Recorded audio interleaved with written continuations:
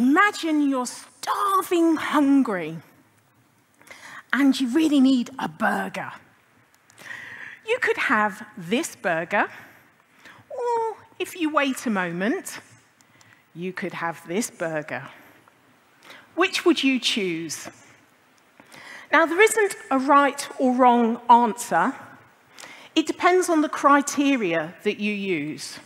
Is it immediacy or is it hunger?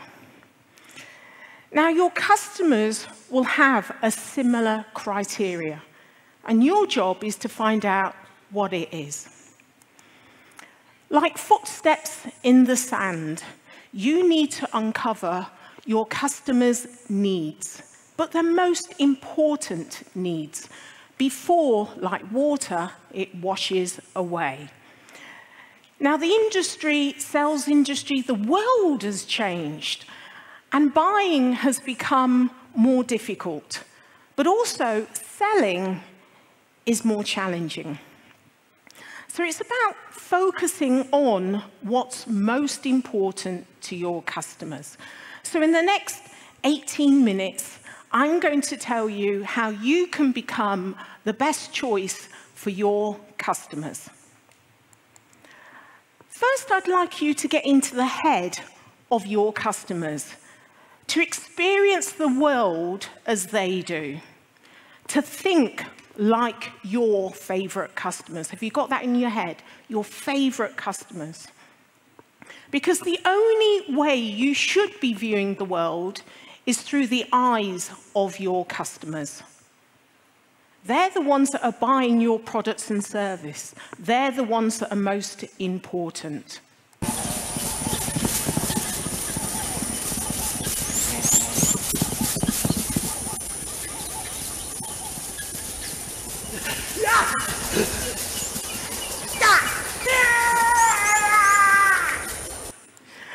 So have you noticed this customer, there was one thing that was important to them and nothing was going to get in their way to get it. So let me tell you a story about, I worked with uh, uh, a company called Cambridge University Press and they sold English language books. So I worked with this global team from director down to manager. So these uh, people came from Chile, China, South Africa, Russia, and they all had a lot of experience. However, lots of their um, customers were leaving them to more innovative incumbents, companies, other companies. The their sales revenue was going down, so they had a problem. So these sales people had been in their jobs for many years. But the one thing that they weren't doing is really understanding the changing customers' needs. So think about the ministries that they sold to, the regional education boards and schools. For them, the buyers thought we need more school books. But the customer customer, who's the student, at the time, they were being exposed to more digital content, digital TV, YouTube. They wanted devices. They didn't want more books. So the customer customers' behaviors were changing. And for the schools, their registrations were going down. So I helped this sales team to understand the priorities the needs and the changing behaviours was most important. And that's what they needed to uncover, and that's what they weren't doing. So they started asking different questions and discovered that the priority here was the falling registrations. So the offer changed. It changed to teachers training. It changed to digital devices. It changed to online material. The value of these items were much higher than a book. So the result was that obviously the registrations went up because the student wanted these devices. But also the revenues doubled for this company in less than a year and continued to double as they rolled that out. So price is what your customers pay, but value is what they're incentivized to gain. They're looking for value. But value increases when it's associated with the customer's most compelling, most immediate priority. This is why priority is the driver for sales in 2023. Now, previously, we uh, were uh, asked to look at pain points. Pain points is the thing that we're selling to. Find your customer's pain. Has anyone else heard that? Pain points, yeah. Customer's pain. But pain points are temporary. Sometimes it's just time that deals with the pain point. It will resolve itself. Priorities are stable and evolving. They're immediate, but they move on to another priority and another priority, and it positions you as the trusted advisor when you can help the customer identify their pain points. It also helps you to tailor the advice to what's most compelling to them. And also, it activates the buying decision because this is what they're most willing to put their money to now. That's why you need to know what it is. So, my question to you if you were to identify your customers' most compelling problems, the things that really engages them, what impact would it have on your customer relationships? How would they see you? So we've talked about priority. What else is your customer looking for? So I'd like to tell you another story about uh, working as a customer experience consultant and we worked with Boots. Now, Boots is a pharmaceutical and beauty retailer. And we discovered that over a period of time, they had falling revenues. And it was really, there was lots in the news about this company. It was around 2005 about this company may go out of business. And it was one of the mainstays of the high street. So we interviewed the floor staff, the manage, shop managers, and many of the customers, and discovered that many of them were abandoning their baskets because they were getting so frustrated. They were going round and round and round trying to find what they were looking for. Now, I don't know how many here, raise your hands, have been in that situation. You're on a website and you can't find the button, yes. Or you're in a store and you're going around and you can't find what you're looking for, yes. It's really frustrating. So we changed the store. We changed it and we put signs up, symptoms. So we had um, hay fever in the summer, and we changed that around to flu and colds. And below that section was everything they needed for that symptom. We had dental section and everything they needed in that section. So customers came in. We also reduced the stock because we discovered that the way the floor was laid out was by pharmaceutical brands because it was easier to do the stock take. So we changed all of that.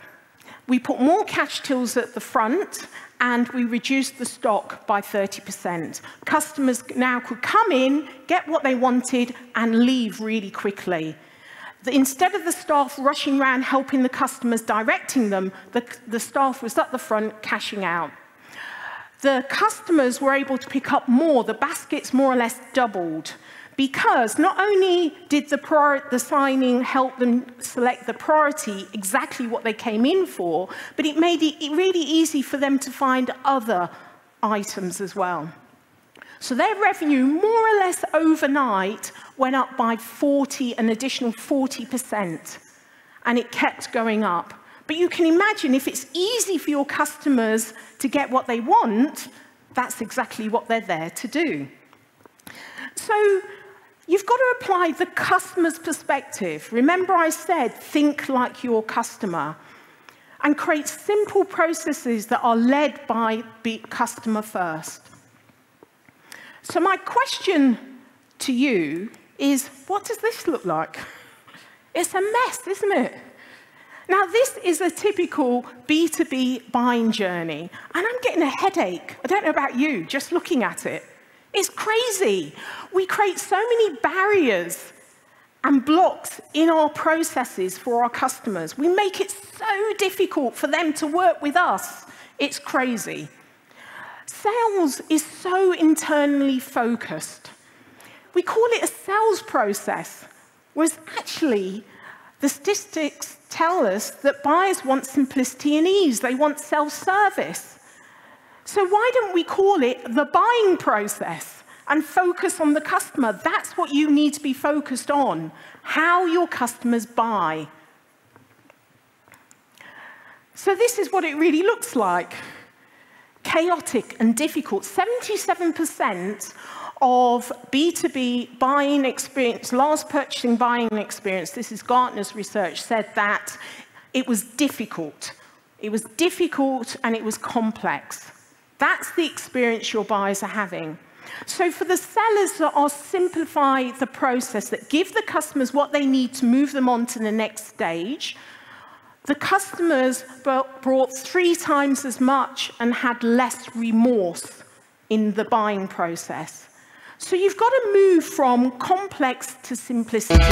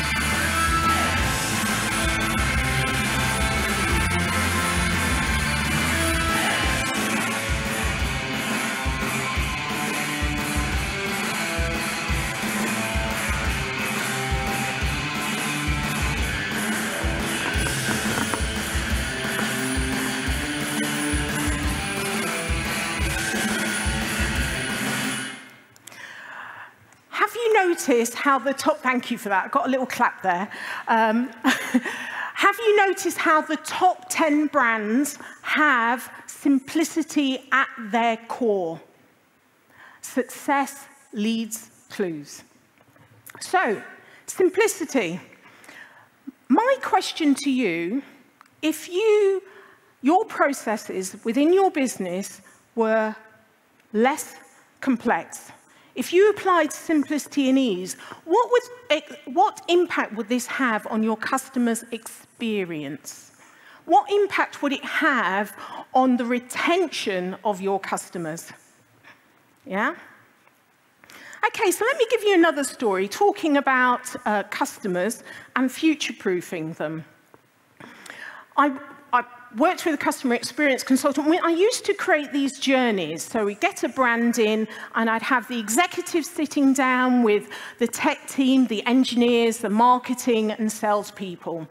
The customers would come in and they'd have to do a journey or some kind of task.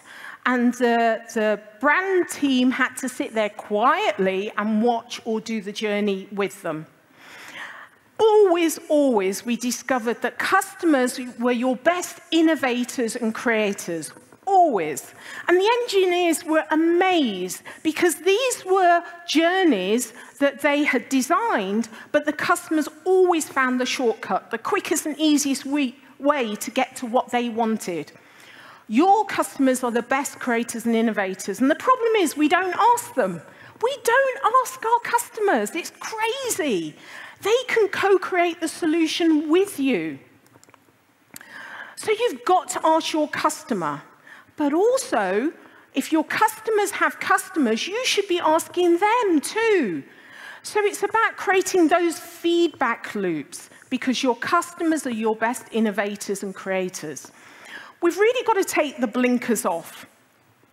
The sales industry is internally focused, and we need to turn that to be externally focused. We need to understand that customers have the solution and bring them in to help us co-create what that may look like. We always think we know best, but we don't. Trust me, your customers are sitting there solving problems all the time. You know, even a baby is a great problem solver. A baby's hungry. What does it do? It cries. A baby's really hungry. What does it do? It screams. They're great problem solvers, so are your customers. And it's really about you creating those feedback loops to get those information, to bring them in, to help that you to co-create what is the best solution for your customers.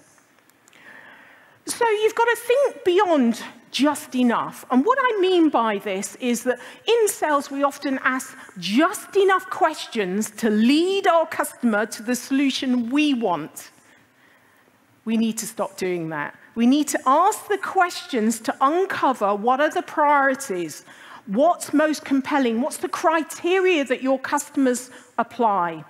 So think beyond now and also think towards what's next. Once you've got your customer, what's next for my customer? What's next on the horizon? What should I be informing them about? So set up those feedback loops, not only for your customers, but for your customer customers, because they'll tell you what they want. Think of when you've got a car in the dashboard. How many of you here raise your hands when you think, if only, if only they did it like this, if only. We're always thinking, if only, so are your customers. So my question to you is, does your research lead you to understand what are your customer triggers, what are their behaviors, what's coming around the corner for your customer? What unmet needs are there now, but also what opportunities there are in the future? What I'd like you to do, you may want to take a picture because tomorrow I want you to go into your teams Go into your teams and ask them about the priorities, the simplicity, and the future opportunities of your customers. This is what you need to be uncovering right now in your teams. These three questions that I've asked you here today. So I've got one last question for you. Now, hopefully, you're sitting there thinking like your customer, like your favorite customer, you're seeing the world as they do. You're experiencing the world as they do. So with your customer in mind, what would you do differently today? Thinking like your customer, what decisions would you make that are different? Go make those decisions. Thank you.